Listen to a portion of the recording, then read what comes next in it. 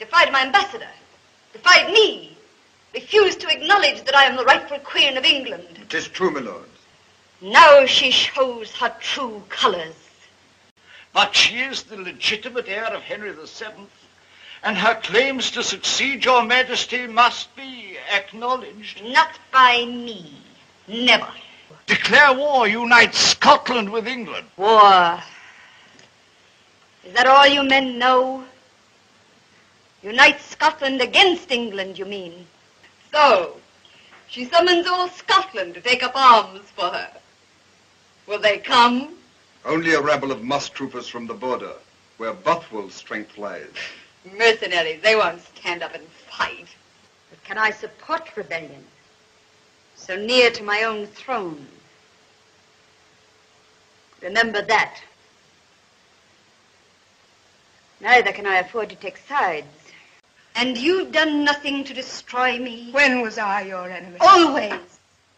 Always your life was a threat to mine. How? Why? You were born too close to my throne. It was you or I. I'm a queen.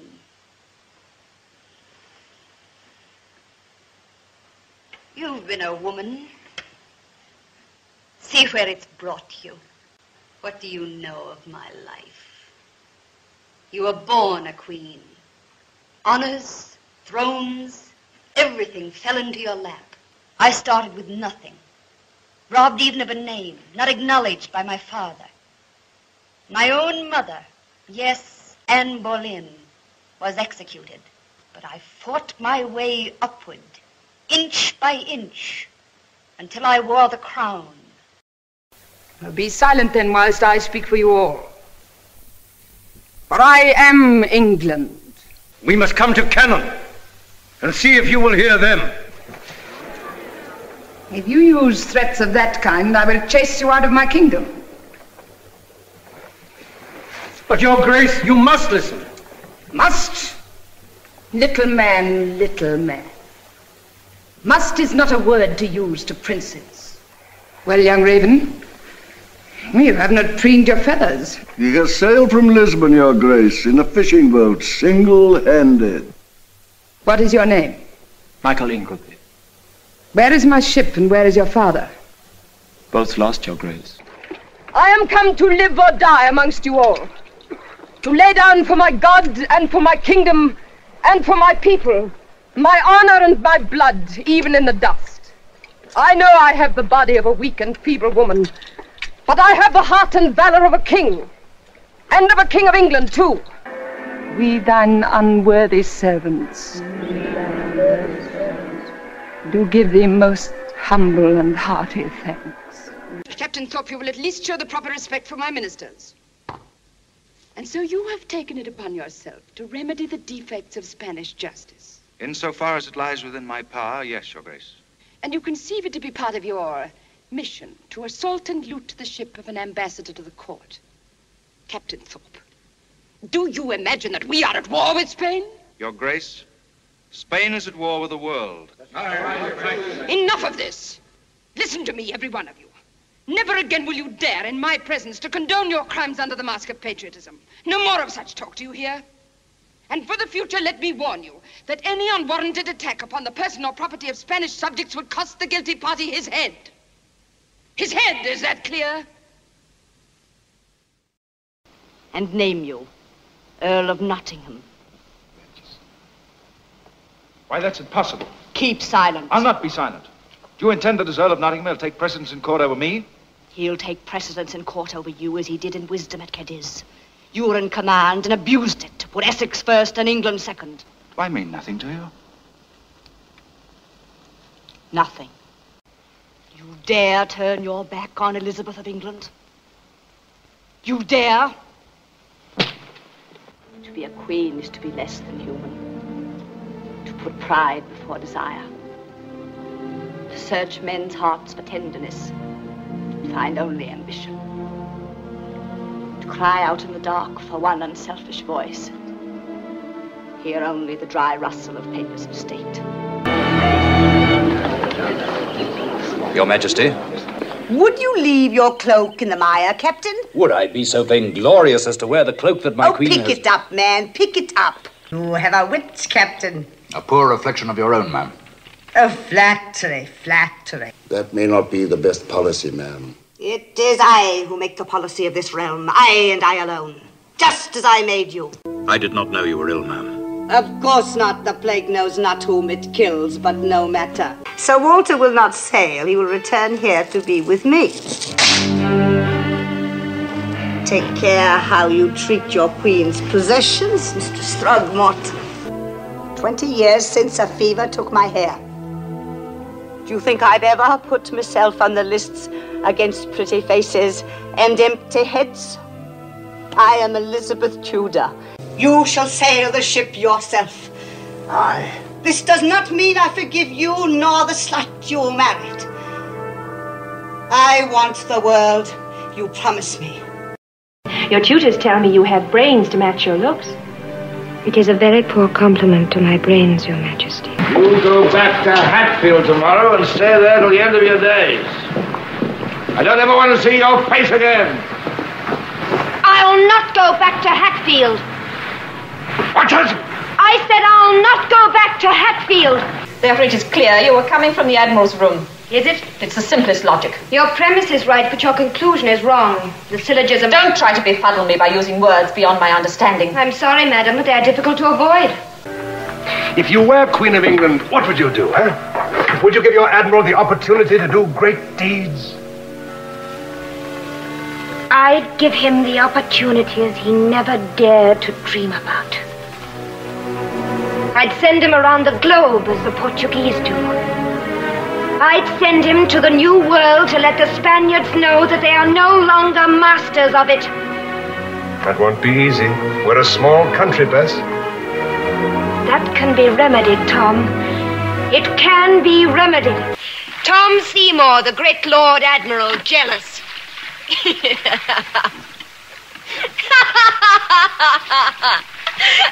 Stop it. Stop. Stop it, I say. But Tom, it's so funny. I said stop it. Stop it. I was beside myself. I didn't know what I was doing. You couldn't help it. You either had to kiss me or. And I think it was better that you slapped me. For years you've been conspiring with your lover to Take undermine. care, you're not very wise. Before you go on, remember I'm second to the throne. You thought of that, have you? As the Admiral's wife, you thought to take the throne for yourself. You'll answer for that with your head, Lord Seymour. Stay where you are, Captain. You are not in a dockside brawl, nor on the deck of the Golden Hind. You are in our presence. No man calls me coward, Your Majesty. I am no man, Captain. I am your queen.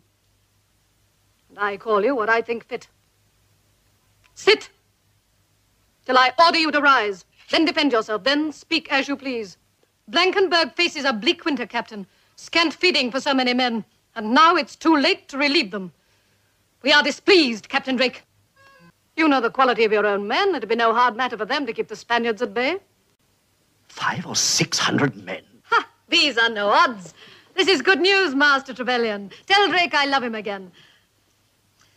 I have a request here for you to inspect the garrison, Sir Miles. Very right and proper. You are free to leave at once. To go to Blankenberg, Your Majesty. I imagine you are anxious to do so. You must be very proud of your garrison. Drake tells me you are a Welsh terrier, Captain Williams. You hung on to the throat of Spain and they could not shake you off. I would that I had more such terriers to keep open the Dutch ports. Thank you, Your Majesty. I did not guess that Sir Miles was brave enough to take command. Then perhaps I may have your permission to return and rescue him. How many men has Sir Miles to keep him company? You have his estimates, Your Majesty. He has his original garrison. Less 13 men. Hmm. Mendoza, buenos dias. I'm distressed to hear Your Excellency has yet another complaint. We're not at war with Spain. The King of Spain's my kinsman and my friend, and yet you sink and burn his ships and pillage their treasure. Madam, I... Am I to condone murder and theft? Ma'am, I did it. Be silent. Sir Francis Walsingham have this pirate taken to the tower and confined there until we make known our pleasure. I'm surprised. You're an ordinary man. From the reports I've had, I expected a giant. Did we manage to deceive His Excellency? Not entirely, ma'am, and not for long.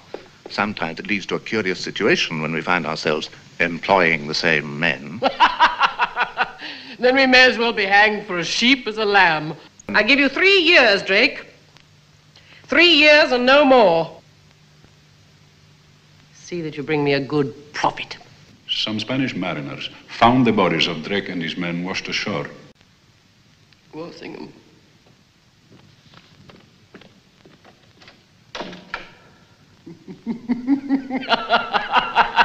He's alive. Drake's alive and well. Come, Mum, this is a treaty with Spain, not a death warrant. How can you be sure? Well, tonight they delivered themselves into our hands. All of them.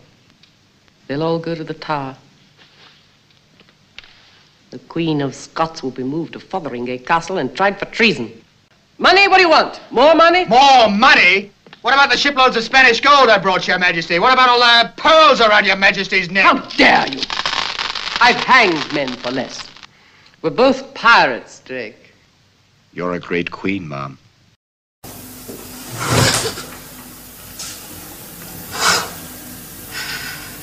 I will survive. This is the Lord's doing. It is marvelous in our eyes. I may not be a lion, but I am a lion's cub, and I have a lion's heart. I had thought if all the world had turned against me, you would not. I, I would die for you. What has that to do with it? I want to be young again. I want to have my hopes again. And I want not to feel time like a dead child in my womb. You must not speak to me like that. It is not fit. You are a married man, and I. We will deal more honestly with each other from now on. All my life, I have been shadowed by conspiracy. The axe, the dagger, the block, they are as familiar to me as spring flowers to a countryman. Fears and doubts circle my head like black crows around a copse. Yet every time a new treachery is revealed, I am strangely surprised. Foolishly, I expect good in a world where men pursue evil. To live or die amongst you all, to lay down for my God and for my kingdom and for my people, my honor and my blood. I know I have the body of a weak and feeble woman. now she comes to it. Now she cogs the I dice. have the heart and stomach of a king and a king of England too. Half her nobles are Protestant and in open rebellion rule, you say. She barely survives. I fear neither Mary Stuart in France nor her mother in Scotland. Nor your own Catholic nobles who live in the north, hard upon the Scottish border. Why should I? They are not persecuted. I am no tyrant. Then marry me, my love. In this land there will be but one mistress and no master.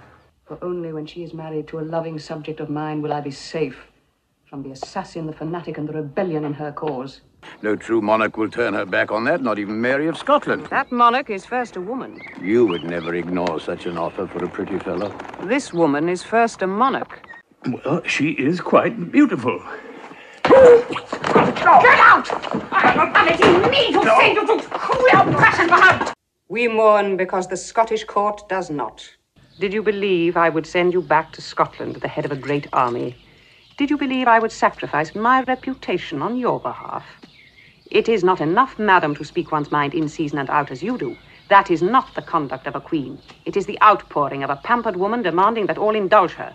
It does not surprise me that you are here, helpless, and that your brother rules. You are not fit for the high office to which you were born. I fear her execution. It threatens me. She is an anointed queen as I am. Madam, if your head had matched your heart, I would be the one awaiting death. Oh, laugh, big sister. And what are you going as? I am not heir to the throne. I can go in cap and apron for all anyone cares. Oh, my clever sister Bess will devise it. She used to embroider presents for me. I am a princess, not a haberdasher. Stitch your own shirts, Prince of Wales. The king is dead.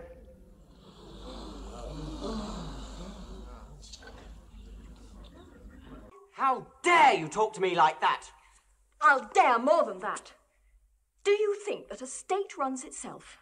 Or that you can wave England's business aside because you're too idle, or too peevish, or too hot after that simpering baggage? I'll see to her, God help me. And I'll not be railed at by any royal hoyden who does not know her place and forgets the respect due to her king.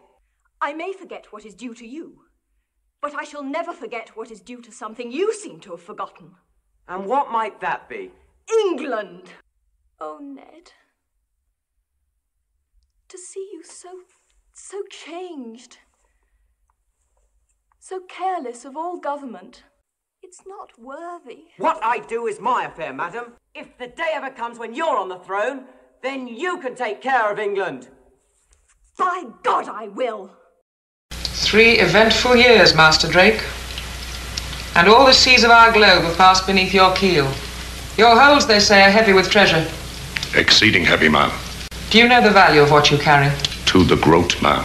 Didst think, after all that's passed, that it would end this way? No, ma'am. Nor I. And the leader of this expedition? There is but one, ma'am. But one. And who is this one? Drake, ma'am. Francis Drake. El Draco, the dragon. There are those who look upon Master Drake as more a pirate than an explorer. Our Spanish cousins are sore disgruntled, so I'm told. Your escapades have much offended them. Indeed, King Philip has asked me for your head. Then why should Drake succeed where great Magellan failed? Ship's carpenter to ship's master.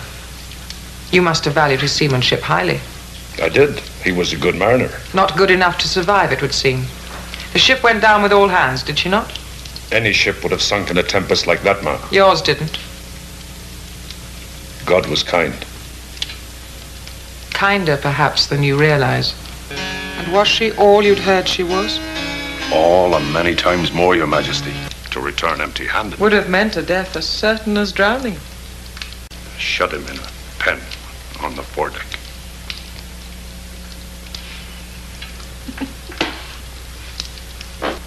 Not in fear await its touch, good Master Drake.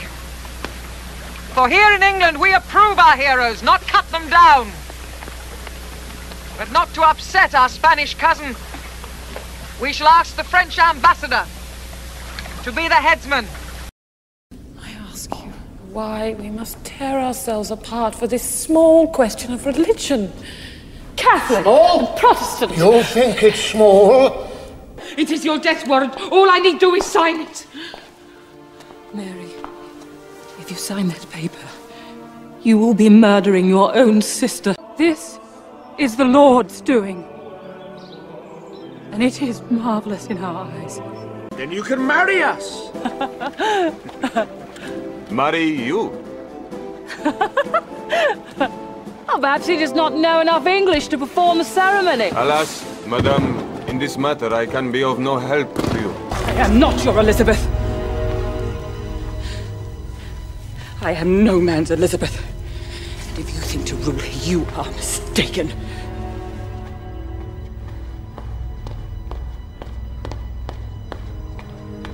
I will have one mistress here. And no master! A puddle in the way. Majesty.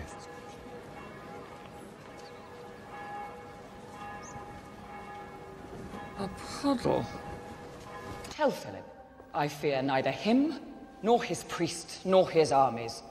Tell him if he wants to shake his little fist at us, we're ready to give him such a bite he'll wish he'd kept his hands in his pockets. There is a wind coming, madam, that will sweep away your pride.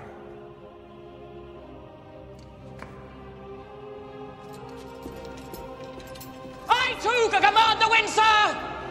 I have a hurricane in me that will strip Spain bare if you dare to try me! I murdered God's anointed queen. And now God's most dutiful son makes holy war to punish me. My loving people, we see the sails of the enemy approaching. We hear the Spanish guns over the water.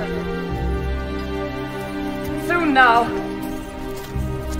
we will meet them, face to face. I am resolved in the midst and heat of the battle to live or die amongst you all! Mr. Tilney! Have a care with my name, you will wear it out.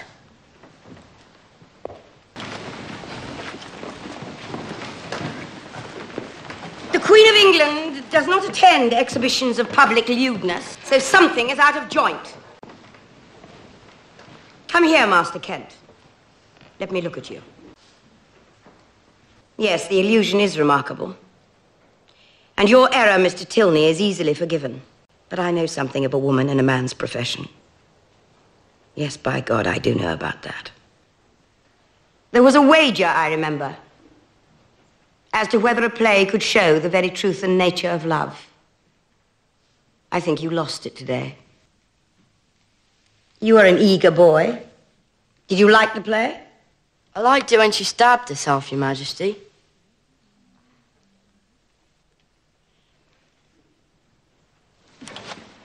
How is this to end? As stories must when love's denied, with tears and a journey. Those whom God has joined in marriage, not even I can put asunder. Tell Master Shakespeare something more cheerful next time. For Twelfth Night.